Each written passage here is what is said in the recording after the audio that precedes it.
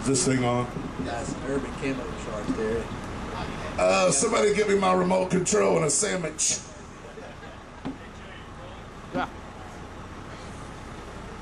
Hey guys, uh, Thomas Lamb, Mega Metal Magazine.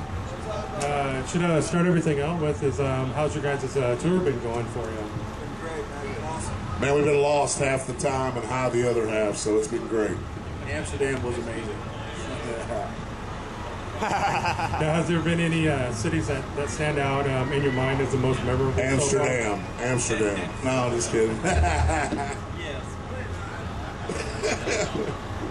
man, there's this little podunk town we stopped in, and uh, they cooked us some hella barbecue. Man, I forget the name of it, but we should talk about it because it was awesome. The ribs. the ribs was delicious. he loves the ribs. Hey, Coop, welcome to the party. Hey, Randy, your hair looks really good. How do you keep your hair looking this good in the in the wind? I'll tell you, man, I wash it daily. I don't. So, um, are, are you guys doing very many festival shows right now, or are you doing a lot of headlining? Uh, well, we- we are doing a little bit of headlining, but I think like uh, day after tomorrow, we're at uh, the mid, uh, uh, what's it called, Rocket America in Oklahoma City, and uh, we just did Bospop over in uh, Europe, and I think we're doing some kind of Orange Fest out in California, and do a lot of festivals. I I really like the atmosphere at the festival, so it's one of my favorite things to do. Now, for uh, a, a music fan who's never heard of you guys before, how would you describe your music for them? It's kind of like a rodeo, and then it's kind of like professional wrestling, and then it's kind of like NASCAR. Put all three of those together, and you got Texas Hippie Coalition, baby.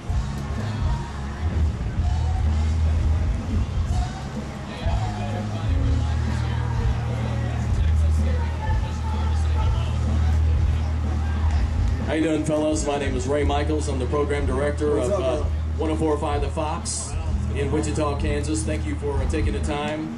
I wish I could do something about the heat and the wind and all that, but uh, I don't have that kind of authority around We don't here. know what you're talking about, man. We don't know what you're talking about. Hey man, we come from Texas. It ain't even hot here, man. Right. This is a nice, cool evening for us. Well, I figured you guys might be used to it. Uh, just real quick, you guys have one of the best rock names out there. Just, just for a second, for those that don't know, where, where, and how. Tell the story of how the name came about. Well, I was getting high, and I thought THC would be a cool name for a band, but I wouldn't want it to be called Tetrahydra, Cannabinol, whatever. so I thought, you know what? Uh, I don't know. Texas Hippie Coalition sounds pretty cool to me. It sure is. And uh, just want to again thanks so much for taking the time to come out and be a part of the festivities out here tonight. Um, again, to um, you know, when you were talking earlier about a combination of NASCAR meets WWE, is that really what we're going to see on the stage tonight, or is it somewhat uh, a, a musical version of that? And how would you explain that to someone who has never seen a show? Well, I mean, I always describe, you know, if you hear us, it's like a hockey game at home on TV. If you see us live, it's like being in a hockey game. You know what I'm saying? We will most definitely check your ass up against the glass. It's going to happen here today, and it's going to be like one hell of a bull ride. All I got to say is I hope everybody hangs on. Well, I wanted to again thank you so much for coming out, and thanks for uh, being a part of the festivities tonight. We really appreciate it, and uh, God bless you and everything. It's our Have honor. Safe and it's travels, definitely a pleasure. Thank and you. thank you very much. Thank you, brother. Let's uh, talk a little bit about uh, your guys' uh, experience uh, in the recording studio atmosphere. Are you guys all comfortable in that situation? Oh, right on. Yeah, very, very comfortable. I, I think that uh, in the studio it's a breeze. Um, I, I think the only thing that rock stars do or wannabe rock stars do that is hard is making videos. I hate making videos. they look great, but it's hard, man. You know, I've, I've done some roofing, done some masonry work, worked in a oil field, and doing a video shoot in a 14 hour day is it's hard as hell, man. He's a diva. He's- Don't listen to him. He loves the camera. Now, do you remember the first time the uh, the five of you guys actually played together for the first time? What that was like? I'm sorry, could you say again?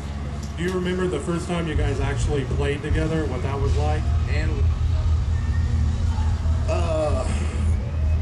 Man, you know, most bands start off a certain way, like maybe, you know, a band starts off in the jam room or somebody sees somebody at a club. This band, I really put this band together because I was just tired of where music was going. I didn't like what I was hearing on the radio. I didn't like what was out there. And I wanted to do something to let everybody know there's something else other than what you're hearing. There's something else out there. It's deeper. It's, you know, it's not just an off color. It's red, it's white, it's blue. And it's that's what we want to be. You know, we want to be something totally different. And I said, you know, five years ago when we started this thing, there's an appetite for this. And then two years ago, you could definitely see that there was a hunger for it. And right now, with us having the number 10 metal album in the nation, I think it just lets everybody know that the people are starving for it. And we're going to feed them some Southern fried Texas metal, baby. Now, what did you think when you heard that when you guys uh, placed on the charts that high up? What did you think about that? I was just pissed off it wasn't higher. To know whose ass I had to whoop to make it happen? No, I mean, uh, what was really weird is when you're looking at the list and back behind you is Judas Priest and Iron Maiden. You know, bands that you grew up listening to your whole life. You know, and uh, we're just happy to be a part of that music community, and uh, we'll we'll definitely carry a flag and we'll wave it and we'll wave it high and proudly. Now, when you guys uh, went in the studio to record the, the newest record, did the label have any say so over that, or did they give you total creative None whatsoever. I'll whoop their ass if they say anything. oh shit. We did it all how we wanted to. Now, was, was there anything recorded that didn't make it onto the album that you wish would have made it onto it? Well, I mean, I don't know if I would say I wish it would have made it on the album. I think the album is a great 10 songs, but there were two more songs recorded. And uh, one of them didn't make the album because of the rough track, because of the vocals on the track. Never got to lay down the exact vocals that I wanted, so we held it back. Um, another one was just kind of a late bloomer, came to the came to the table late, and we decided it was such a good song and where it was at musically, we decided to hold on to it and save it for the next album. When I talk about whooping my label's ass, I will whoop their ass, but anybody out there that has a chance to say to those guys, hey man, thanks for taking a chance on a bunch of long haired redneck hippies, you know, nobody out there really has the balls to sign this band. It took a it took a label to come up and start a label and be somebody and try to become somebody and use us as their flagship band and get themselves out there, you know, and to those guys, kudos and uh, do your job right or I'll whoop your ass. That's all I got to say, baby. Um, a lot of people uh, have been talking recently about all these social networking sites out there. What are your uh, guys' personal thoughts and opinions on those crazy things? Man, I just say, take get my phone number and call me, man. I'm tired of all this Twittering and MySpace, and I mean, we use all that stuff, but the kid over here, he does all that stuff for us because we hate it, or you know, it's all it's all his generation. He's really good at it. We we don't even know what the hell we're doing. Keep it up to date. Uh, we try and uh, look at it every, uh, you know, day, day and a half. You know, we do keep up with all the posts.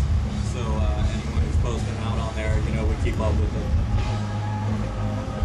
Yeah, we make him post stuff all the time that he don't want to post. He's like, man, I don't think we should do this. I'm like, oh, who cares? Just do it. There's a pretty good picture of crawfish on there right now. There's no good pictures of crawfish. That's why I wear the hat, man. Keep my face out of it. All right, well, that's all I had. Thanks a lot, guys. Thank you, man. hey man, appreciate the hell out you.